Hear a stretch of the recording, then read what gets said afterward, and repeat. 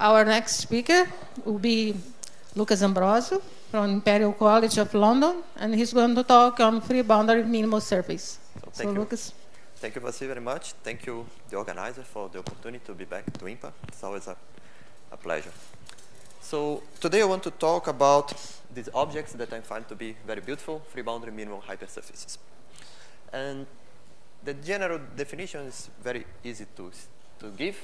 So I want to consider a complete Riemannian manifold of dimension at least 3, a region omega in N, and I want to look at compact, properly embedded, smooth hypersurfaces in this domain.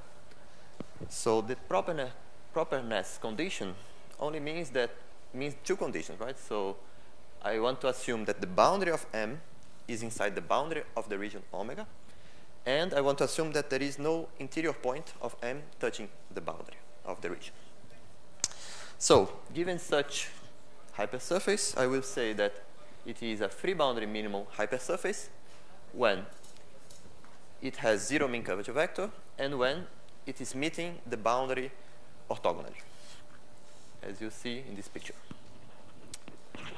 Um, of course, the orthogonality condition is a very nice geometric condition you can impose on the boundary of a minimal surface. However, I think that what makes it uh, interesting is the fact that this definition is variational. So to explain this, let me recall you the first variation of area. So here we have the surface M in this region. And what I want to do is to study how the area is varying as I deform this hypersurface by the flow generated by a vector field X. Uh, but of course, there is a constraint, right? I want to keep the boundary of M inside the boundary of the region. So the admissible vector fields are those that are tangent to the boundary of omega. Then we have this uh, well-known computation for the first derivative of area. Uh, we see an interior term where we see the mean curvature vector and a boundary term where we see the conormal vector field that is the unit vector field on the surface that is orthogonal to the boundary.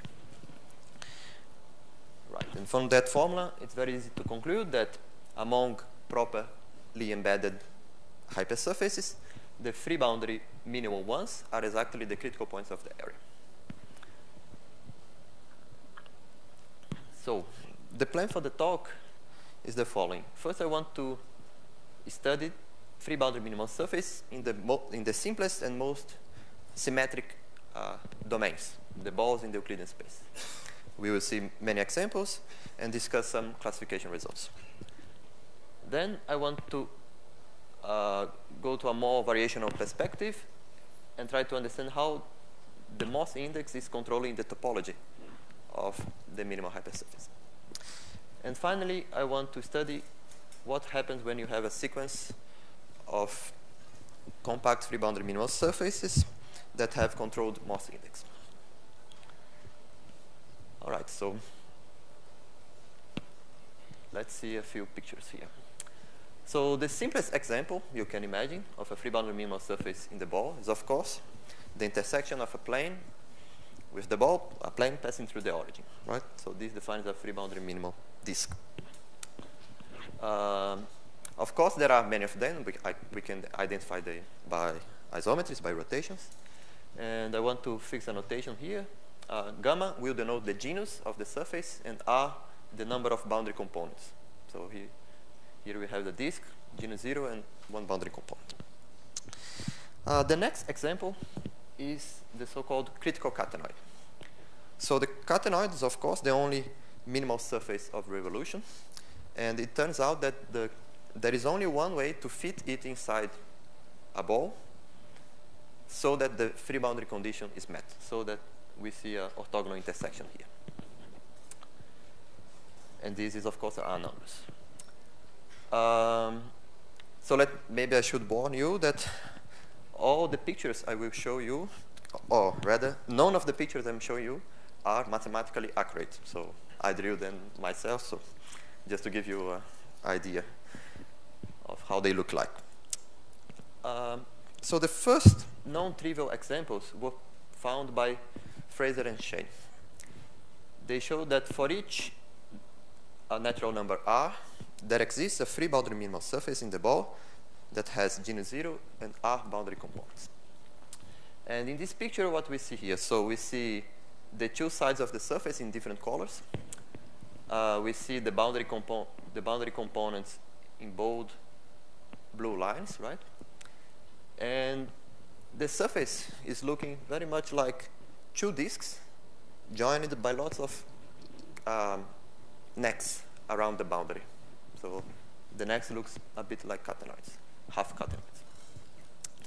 And how do they constructed these examples? So it's a very beautiful story. So uh, first we have to look at these general problems. So given a, any surface, compact surface, you can define this Dirichlet to Neumann map, which does the following. So given a function on the boundary, uh, you first extend it as a harmonic function to the interior by solving the Dirichlet problem, and then you take the normal derivative back to the boundary. Okay, so this is a kind of non-local operator, but it has nice spectral uh, properties, right? So it has a discrete spectrum, it has eigenfunctions. Uh, and in particular, we can look at the first Steklov eigenvalue. So the name of this operator is the Steklov operator, which has this high Lie type uh, characterization. So in spectral geometry, it's it, it is interesting to try to. So before that, so notice that the definition depends on the metric, right? As I change the metric, I change the first Steklov eigenvalue. And the problem would be in spectral geometry to try to maximize uh, the first eigenvalue. So here I'm multiplying by the boundary length just to make the, the thing scale invariant.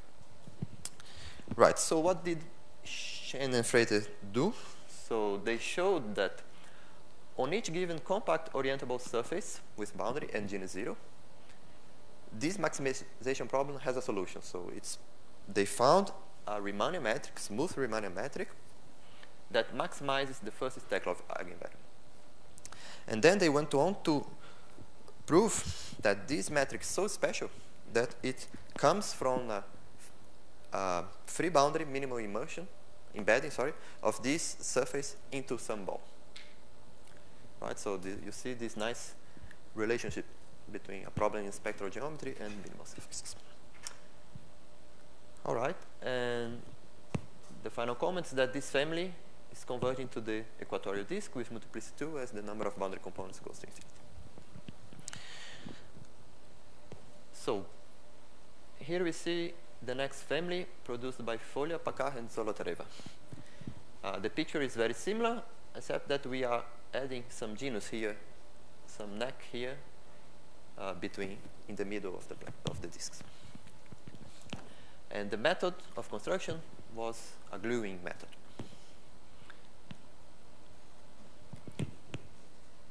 Right, so more recently, uh, this construction of a desingularization of the plane in the critical catenoid has been given. So the idea is that if you add lots of handles along this singular intersection, you can perturb the picture and find a, a free boundary minimal surface with this, uh, uh, this profile. So three boundary components and large genus. So this construction I have been, I have seen announced by Martin Li and Kapouleas for some years, but the paper hasn't appeared yet. However, in the beginning of the year, I think uh, Ketover proposed a new construction, a, a different construction, uh, by, by variational methods. So he did an equivalent min-max method to find uh, a guy like this, the guys like this, right? And in the same paper, Ketover constructed three isolated examples so they are they have the same symmetry of the Platonic solids. So uh, as you know, there are five Platonic solids, but by duality there are only three symmetry groups, groups. And the examples he constructed have the same symmetry groups, have these symmetry groups. They are also constructed by min-max methods. They all have genus zero. And here I try to imagine how how the one with the same symmetry of the cube looks like. It has six boundary components and this symmetry. All right, so given that we see lots of examples, lots of methods of construction, a natural question would be to try to classify them, right? Classify the simplest ones. So let me first show you what is known about the classification of equatorial disks. So a free boundary minimal surface in the ball in R3 is an equatorial disk when it is totally geodesic. So we have a characterization in terms of this extrinsic geometry. It's very simple, but it's here for a reason. Um, and we also have this theorem, very important theorem by Nitsche. So by using a Hopf differential argument, Nitsche showed that if a free minimal surface in the ball is homeomorphic to a disk, so topological condition, then it must be the equatorial disk.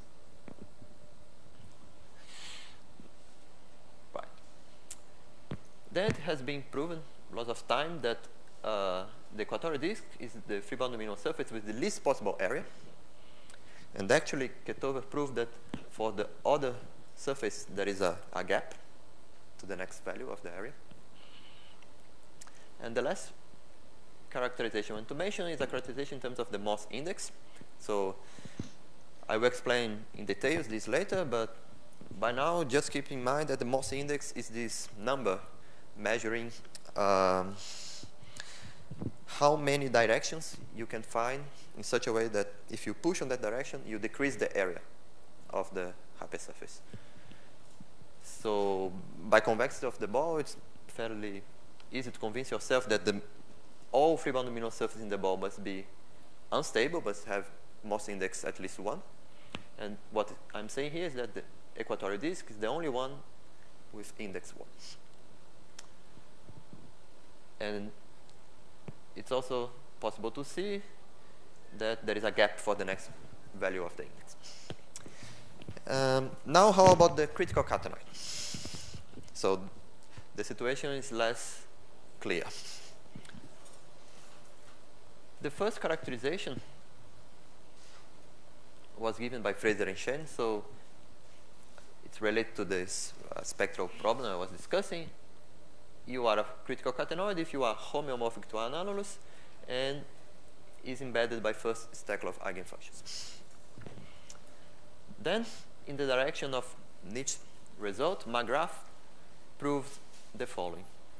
If you are homeomorphic to an annulus and symmetric with respect to reflection on the three coordinate planes, then you must be a critical catenoid. And actually, his result uses uh, this first characterization by Fraser and Schoen. And then in this paper by, Fre by and Devyver, they show that if you are homeomorphic to an annulus and has index 4, then you must be the critical catenoid. Right, so let me just remark, so the index of the critical catenoid is actually 4. This has been computed independently by Graham Smith, Detang Zhou, uh, Hung Tran, and Devyver. And so far, without doing this assumption here, the best we know is that an index for free boundary minimal surface must have gene 0. So as we see, we are far from having a neat picture as we have for the equatorial disk, right? And notice also that all these characterization results make a topological assumption. So what I did with Ivaldo Nunes from the Federal University of Maranhão was to, to give a, a new character, to, see, to seek for a new characterization uh, in these lines. So an ex extrinsic characterization. So let me say the result. So let's assume we have a compact, properly embedded, free boundary minimal surface in the ball such that this function here that takes the second fundamental form at a point and multiply by the normal component of the position vector of this point. And let's assume this is bounded by 2. Then the conclusion will have two possibilities. Either this function is identically 0, and of course in this case you have the equatorial disk, or the maximum of this function is 2, and you see the critical catenoid. Right? notice that we are not making any topological assumption. And this looks a bit like a gap result for the second fundamental form. In fact, an inspiration for us was this classical result by Chern, Kobayashi, and Do Carmo, also proved by Lawson, about closed minimal surface in the round sphere. So if the second fundamental form is bounded by n, then either you see the simplest one, the equator, the totally geodesic equator, or this is constant and you see the Clifford hypersurface, which are products of spheres, of round spheres. All right, so later on, it was pointed out to us that P Paris, and Ros proved a similar result with a similar proof um, about complete minimal surface in R3. Actually, in a paper about constant mean, constant, stable constant mean curvature surface, a long paper. But there you can find this proposition. If you are properly embedded minimal surface in a tree, satisfying this condition, so notice that here I'm taking the norm of the x, which is a stronger condition than the normal part of x. Then either you see a plane or you attain the maximum and you see the, the, the the whole catenoid. All right, so let's go through the key steps of the proof. So the first step is to realize that this condition here means exactly that the function that associates to each point on the surface the square distance to the origin is a convex function. The Hessian is non-negative, right? This is a well-known observation due to Brian White, I believe. Well, once you have a convex function, you have lots of structure. Just remind the, just remember the Soul theorem, for example. So let's take a look on the set of points of minima. So using convexity, we can show that this is a connected, totally convex submanifold, smooth submanifold of M of the, the surface, right? And totally convex means that uh, if you have two points on the set, and these two points are joined by a geodesic, then the geodesic itself lies inside the set. All right, so since we know it's a totally geodesic submanifold, there are two possibilities. Either you see uh, a single point, or you see a closed geodesic. Right, so here let me remark that we are using the free boundary condition because, so since we are looking at a compact surface, it's not clear that given two points you can join them by a geodesic, right? But because of the free boundary condition, we know that intrinsically uh, the minimal surface, free boundary minimal surface is uh, convex. So the boundary is a convex curve.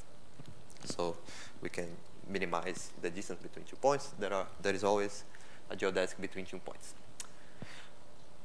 Okay, so then we have to analyze the two possibilities. So if, if this set C is a single point, then you can retract everything to a point. You basically conclude that M is homeomorphic to a disk.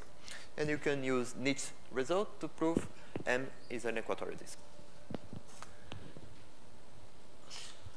So in the other case, uh, what's happening is the following. So let's think about the situation.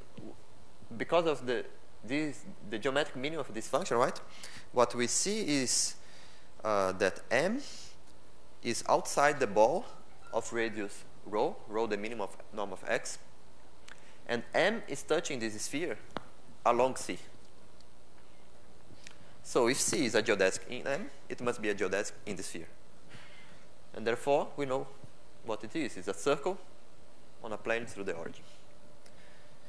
And the final step is to get a rotational symmetry from this information, which goes by the study of um, the Jacobi function uh, associated to rotation along the, the axis orthogonal to the plane. So basically you prove, well, we did the proof using an, uh, uh, the knowledge of the nodal set, the set where this function vanishes, and the theorem of Cheng to conclude that U must vanish identically, and therefore M is rotational, M is a critical catenoid. So this is the proof. Okay, so let's move on to the next topic. Let me explain you what the Morse index is. Uh, the Morse index is related to the second variation of area. So let's go back to the, the situation before. So we have a critical point of the area functional, a compact free boundary minimal hypersurface in a domain. And for simplicity, let's assume M is two-sided. It has a unit normal vector field, and that our vector field is everywhere normal to the hypersurface. So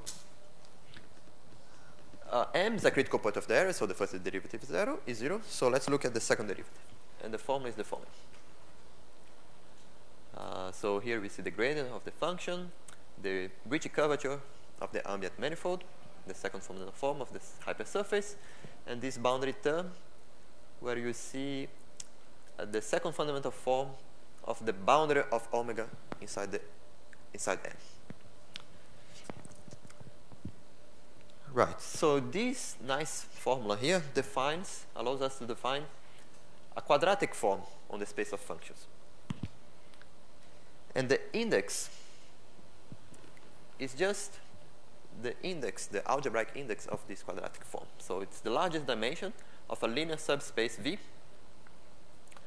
of the space of functions where the index form is negative definite in the sense that it gives you a negative number for all non-zero elements in this subspace. So as you see, we are counting the number of uh, directions in which we can push the surface and decrease the area. So make this negative, make the second derivative negative. Right, so this is a good definition to estimate the index from below. However, to compute it precisely, maybe it's better to give you this alternative definition. So if you integrate by parts, you see this expression here. And the index you can prove to be just the number of negative eigenvalues for this problem here. So you have the Jacobi operator plus lambda and this natural uh, Robin type boundary condition.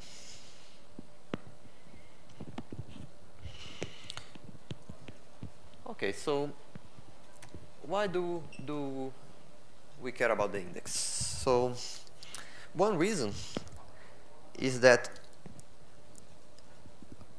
by a, uh, it is a general principle. So every time you have a variational method, either a minimization method or a min-max method, the critical points you find, the free boundary minimum hypersurface you find, have controlled index, right? For example, if you just minimize, you expect to find something with index zero, which is stable. So since this is the only a priori knowledge you can expect about your hypersurface, it's, it's, it's interesting to try to relate the index and of course the ambient geometry, the index is very sensitive to the ambient geometry, to understand the object you produce. Right? And this is of course an old theme in geometry. And just to mention two landmark results. So Schoen Yau in, their study of positive scalar curvature, and the proof of the Willmore conjecture by Andrea Marques and Fernando Codá. All right, so this is the, the this is the motivation. Um, so what I did with Alessandro Carlotto, who is now is at the ETH in Zurich, and Ben Sharp, who is in Warwick, is to try to understand how the index is controlling uh, the Betti numbers of the free boundary minimum hypersurface. And the theorem we obtain is this one. So for simplicity, let, let us assume we are in the Euclidean space and that we have a compact orientable two-sided properly embedded free boundary minimum hypersurface. So if the dimension is 2 and the boundary of omega is mean convex, the mean curvature vector is pointing, is not pointing outside, then you have this index estimate. So the index is bounding genus and number of boundary components linearly. and in higher dimensions, we proved that the index is controlling the first relative Betti number. Uh, this, this topological number measures uh, a few things. In particular, this number is always greater or equal than the number of boundary components minus 1. So the index controls the number of boundary components in particular. Okay, so unfortunately I don't think I have much time to discuss uh, about the proof of this or make other comments than to to to point out to this corollary which links to the next uh, topic. So Fraser and Martin Li proves the following compactness result. So if you are if you are in a Riemannian manifold with no negative Ricci curvature, and you have a, a domain, a region that is strictly convex, then given a sequence of compact, properly embedded free boundary minimal surface in omega that have genus and number of boundary components uniformly bounded, then this sequence has a subsequence converging to a free boundary minimal surface uh, that satisfies the same topological bound. And the convergence is the, the best one you can expect. It's a smooth and one-sheeted graphical convergence. So, in view of our result, the index controls the topology. So we can state the following corollary. If omega is a compact, strictly convex domain in R3, then bounding the Morse index gives you compactness. Because the Morse index bounds the topology, the topology gives you convergence, and the index passes to the limit by this nice notion of convergence. Okay, so now we we are ready for the next uh, and last uh, topic. And the question is, what can we say about a sequence of compact free boundary minimal hypersurface that has uniformly bounded index and uniformly bounded area? And I want to state uh, uh, these results. So also joint with joint work with Alessandro Carlotto and Ben Sharp. So if you are if you are in a Riemannian manifold of dimension at most six with non-negative Ricci curvature, and you have a compact, smooth, strictly convex domain in this manifold, then the set of compact properly embedded free minimal hypersurface in omega that have Morse index and volume bounded by this constant c is compact in the strongest sense. Okay, so the last minutes, let me give you an overview of the proof. So the first two key observations are the following. If you look at a, a small ball and variations supported at that ball, and you find that M is stable on that ball, free boundary stable on that ball, then you have curvature estimates in a smaller ball. This is a consequence of the work of Schoenstein. And this is good because curvature estimates is what you need to prove uh, graphical convergence. Now, how the index enters? So, by this elementary observation. If the index is P and we have P plus 1 disjoint set, then we know for sure that at most one intersection must be stable. Right? Why is that? Because of the definition of the index. If, i if every one of them were unstable, we will find for each one of them a deformation decrease in the area, but then they would span a space of dimension p plus 1, decrease in the area, contradiction. And this, just by these two observations, we can conclude the following. So if we have a sequence with bounded index and the area, uh, the set of points where things go wrong, so the set of points of where the index is concentrating, must be finite, bounded by the index. And outside it, we see smooth locally graphical uh, convergence to a smooth object that I denote M naught. Okay? So the next step, so we have this M naught and maybe those punctures. The next step would be to see if we can extend M naught smoothly across the punctures. So let me show you three kinds of behavior that you need to somehow deal with. The first one is this one. So we have this half neck pinching on the boundary to the point y. Right? And here in this uh, simple situation, it's clear that we have a removal singularity. Okay, then we have the situation where our interior uh, neck is shrinking and converging to the boundary.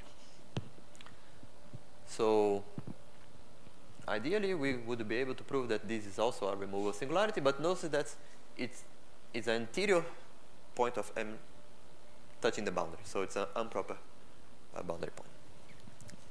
And then we could have a boundary component shrinking, like when you do the blowdown of the upper part of the catenoid.